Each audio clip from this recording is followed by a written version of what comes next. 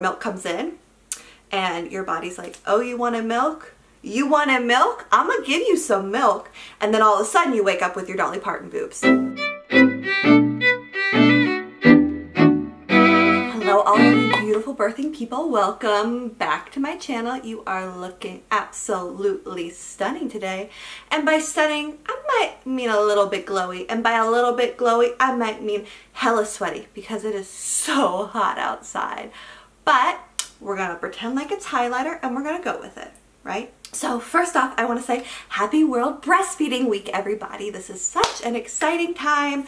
There is so many great information on breastfeeding online, on Instagram, on YouTube. So I just wanted to add a video here for you guys. This one's gonna be all about plugged or clogged ducts and mastitis what can we do if we have them, what can we do if we want to avoid them, and why do we care so dang much about them. So I have here my bowl of goodies to kind of show you guys some things that we can do, one of which involves a potato, so stay tuned for that.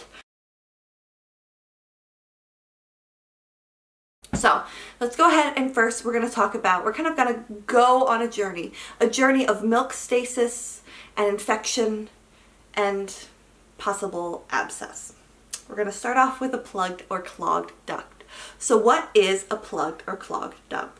Simply, it is a duct of milk that is unable to empty for whatever reason is caused by the milk not being removed from your breast. When the milk isn't removed, water portion of the milk can be reabsorbed into your vascular system, right? Because our milk is made in our blood.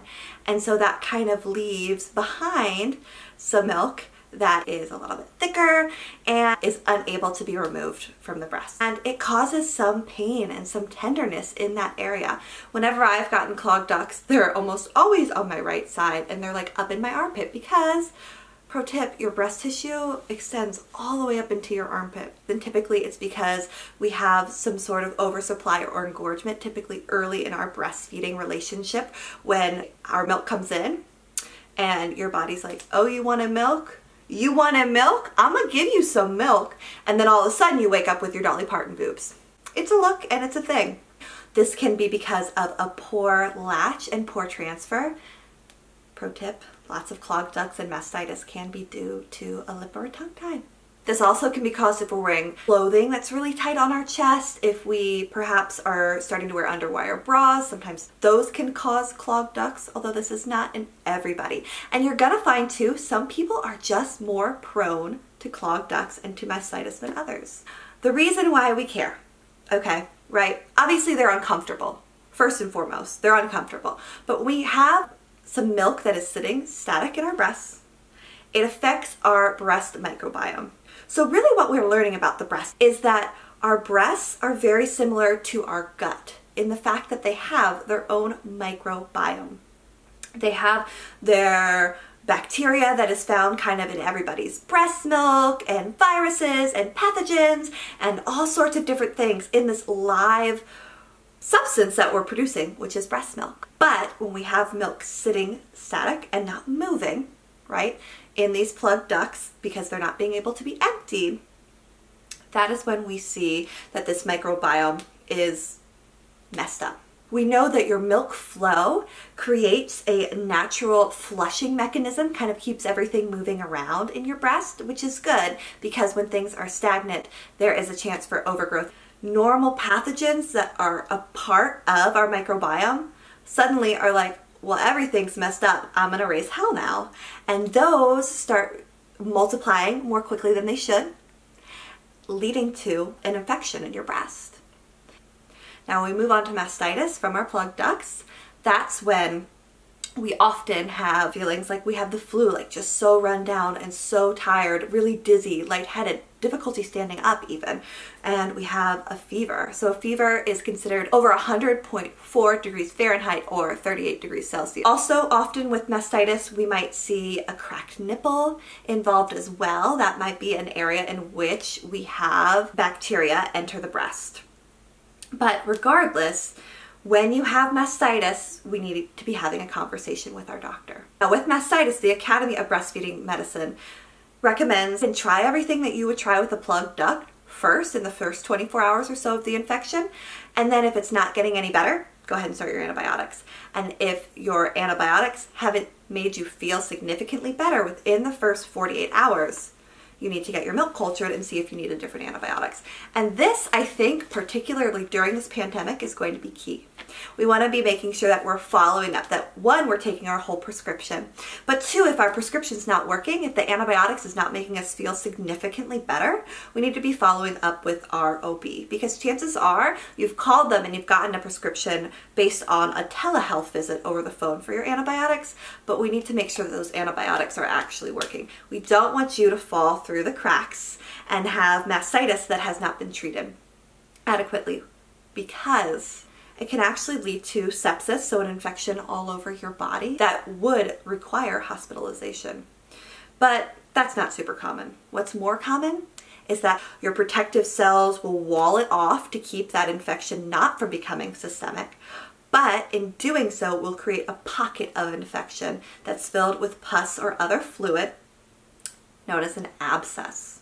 And they can happen either when we have an abrupt weaning situation or infectious mastitis that is not adequately or properly treated. And when you have an abscess, that opens up a whole new can of worms with difficulty breastfeeding and pain and discomfort. Often when we have an abscess, they're going to use an ultrasound with guided imaging to actually use a needle to aspirate and drain that abscess. Antibiotics will often be prescribed with an abscess as well. But what can we do, right? I just told us worst case scenario, right? Let's dial it back a few notches. Let's talk about plugged ducts and what we can do to help prevent those so that we can prevent all of this other really unpleasant stuff going on. Ugh.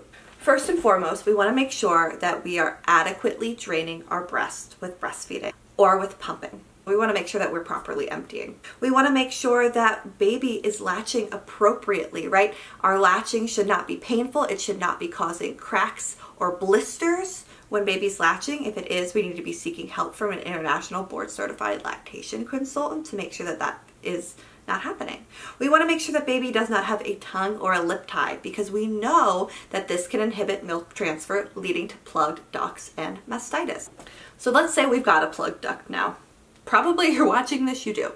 What can we do to help get that inflammation down, get that clog out, and get the milk out so that we don't have milk stasis leading to a change in our microbiome of our breasts? So, ibuprofen is going to be helpful with swelling and with pain. Definitely talk with your doctor before taking any medications that I'm recommending, but generally an over-the-counter ibuprofen can be useful. About 20 minutes before you need to pump or breastfeed, a little bit of ice on the breast again can help with that inflammation. And then immediately before breastfeeding or even during breastfeeding, heat can be so helpful. We can have heat from a variety of sources. A disposable diaper filled with warm water can be great for some moist heat on the breast. Lansinoh makes these really great breast pads that can be microwaved and they also can be frozen and they will sit around your breast. And so you can have those on when you're breastfeeding. They have a little place for your nipple. And you can put the heat wherever the clog is to help kind of loosen things up. I want you to think about your clog as a traffic jam because that's what it is. There's a traffic jam and milk is not able to get past the traffic jam. And let's say your clog is, is right here. When we are massaging, we're not going to massage back behind the clog because what's that is going to do is actually push that milk into the clog, causing another accident and even more of a backup. What we're going to do is doing massage in front of our clog to help move things along. One way that we can do massage is by using something that vibrates like an electric toothbrush. So using that electric toothbrush in front of the clog to help things move through. There are also lactation devices that you can purchase that have heat and vibration. La-Vie, I believe is how you say it. I will link them down below. Has some like that. These have heat and vibration. I used these when I was exclusively pumping. They were fine, but I honestly preferred this. If you are putting baby to the breast still, one thing that can be a great option is dangle nursing. So that's when you're gonna lie baby on a flat surface, like your bed, and then you are going to be on top of them in all fours and breastfeed this way. It's awkward, it's not cute, but we can use gravity to help reduce and remove that clog. Another recommendation that is pretty commonplace, but we now actually know that it's not really 100% true, is that you want to have the baby's chin pointing towards the clog because that's where their strongest pulls are going to be coming from. Well, that kind of takes in the understanding that our breasts work with very straight roads and systems that go back to our ducts from our breasts. That's kind of the general picture that you see of a breast. When you hear about breastfeeding and lactating, that's the picture that's been in our textbooks for years. But really what we're understanding now is that things are a lot more intertwined and meshed than that. And so while your clog might be over here, having the baby's chin pointed this way doesn't necessarily mean that there is a direct line from this clog all the way down to the breast that way. Does that make sense? But it is important to change the position in which you're breastfeeding to help rotate where baby is pulling the strongest. This can help with sore nipples. This can also help adequately draining your breast. Another option if dangle nursing isn't working, this is one of my personal favorites. You can do this in the tub as well, but I always found a good amount of Epsom salt in a bowl with water as hot as you physically can stand. Really nice hot water and hand expressing into the bowl. So what you would do is you'd have this like on a counter, something where you could bend over and actually place your breast into the water and then hand express your breast. And that to me has always really worked well to get out clogs. A lot of people do this with the Haakaa. So Epsom salt, hot water in the Haakaa is another thing that people do. If you're somebody who gets clogged ducts often, right? Maybe your milk is a little bit fattier. It has a hard time fully releasing, leading to that milk stasis and perhaps frequent mastitis. And you, you kind of have been checked out for the lip and the tongue ties, latching, everything is looking good. One thing you can try is lecithin which is a supplement that you can take that is a fat emulsifier that'll actually help that fat break down a little bit better and come out a little bit easier in your milk. But again, consult with your IBCLC and your OB or medical doctor if you are going to take any supplements or medications. There is a potato trick that can help with mastitis or a clogged duct. It needs to be done within the first 24 hours of symptoms appearing, but it definitely can help. I learned it from one of my lactation consultants that I work with, and it worked for one of my coworkers, and it actually worked for me too. So what you're gonna do is take a few potatoes, you're gonna cut them up, and you're gonna put them in some cold water. I don't actually have potatoes here to show you, so I'm going to use some play food. Let them sit in that cold water for 15 to 20 minutes, and then you are going to take those slices and place them on the affected area inside your bra for 15 to 20 minutes, and then replace them every 15 to 20 minutes. You're gonna do this process two to three times in an hour, and then you're gonna take a 20 minute break, and then you're gonna do it again. And what it does is it helps reduce the redness and the swelling associated with the mastitis, which hopefully we can get the plug duct to clear and reduce your mastitis, perhaps reduce your need for antibiotics. Doctors should be able to prescribe you an antibiotic that is safe for you to continue breastfeeding through. And if they're unsure, they often might tell you to stop breastfeeding. But ask to speak with an international board certified lactation consultant, call your hospital where you delivered, and they can check and make sure that an antibiotics prescribed to you is going to be compatible with breastfeeding. And if it's not, then they can work on helping the doctor find an antibiotics that is compatible with breastfeeding. I hope that this video has been helpful to you guys.